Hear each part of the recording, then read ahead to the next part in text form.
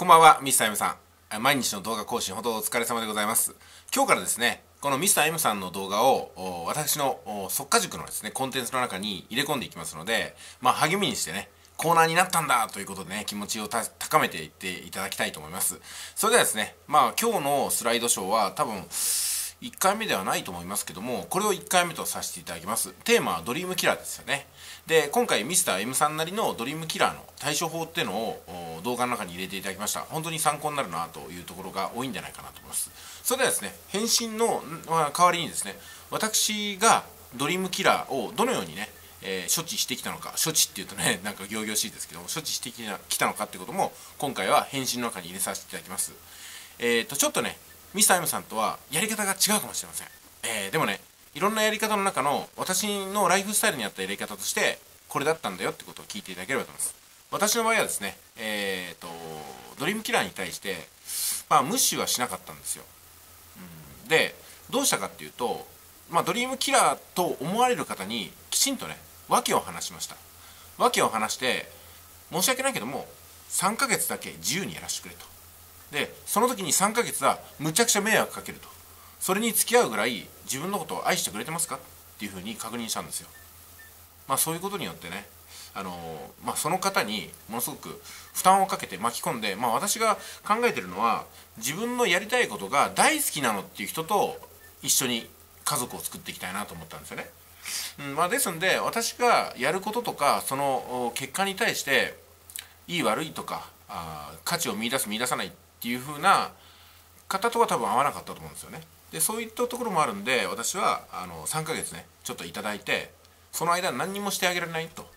むしろいろいろ手伝ってねっていうことでもうね私の心の中ではね奴隷化って言ってますでドリームキラーが私の奴隷のように働いてくれて私のわがままを全部聞いてくれるような3ヶ月間をきちんとね一緒に一緒にですよ一緒に走ってくれたらその時は結果を持ってその人に報いようかなというふうに最初にお話しましたね。ということで3ヶ月経った私はインターネットビジネスでそうですねその頃にもうすでにね、えー、月収100万を突破してましたんで簡単に恩返しできましたね。うん、でもやっぱり1ヶ月目とか2ヶ月目本当怖かったですね。売り上げ上がったんですけども1ヶ月目で85万とか売り上げ上がってむちゃくちゃ忙しくなっちゃったんですよね。早朝から深夜まで24時間いつ私のところに塾生さんがいらっしゃるかわからない状況の中で、えー、どんな時でもね24時間朝昼晩どんな時でも一緒に起きてくれてで、えー、お客さんをねお客さんっていうか塾生さんをお迎えしてくれて気持ちよく送り出してくれたということがあります。ですんで私のその全てにね付き合ってくれるかどうかってことを確認しました。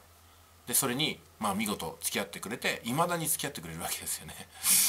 うん、で私はねあの迷惑かけた負担をかけたっていう恩返しを100倍ぐらい1000倍ぐらい1万倍ぐらい返すつもりでやってましたんで私自身腹がくれたってことですね。私の方法はこんな感じです。まあでもねミスター M さんのようにあの自分の行く手を阻む方ってというのは排除しなければならないところがあります。その排除の方法として今回ね動画でまとめさせていただくと排除の方法っていうのはもう本当にね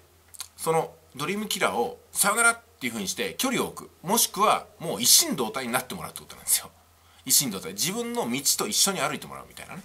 でドリームキラーに負ける人っていうのはドリームキラーの道に一緒に行ってしまうってことなんですよね。さあどれを選択するのかっていうのはもうね、えー、皆さん一人一人が決めることだと思います、えー、インターネットビジネスに限らず何か新しいことをしようとするとそれに賛同してくれる方っていうのは少ないです。その少ない方をやっぱり大切にしていかないといけないなと思いましたね、え、それからね何年か経ちまして今私はですね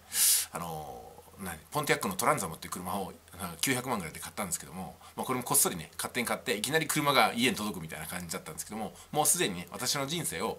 全部受け入れて私がやることなすことを大好きなんだって人が私の家族にいるんではないかなっていうふうに考えてます。ということで私はねドリームキラーが存在しない人生を歩んでいるような気がするんですよ。これから分かんないですけどね、えー、それでは本日の動画の返信にさせていただきました。それではまたミスター M さん動画の方お送りください。失礼します。